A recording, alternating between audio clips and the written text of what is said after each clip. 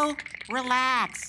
The odds of running into a zombie are extremely low. They hide away in the most remote places imaginable. Like an ancient abandoned mall. Lettie, is that you? Zombies!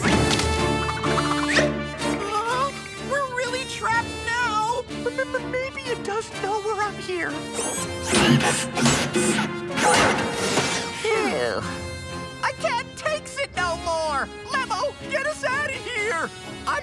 Waiting around for a zombie to jam a straw in our heads and suck out our brains like a juice box!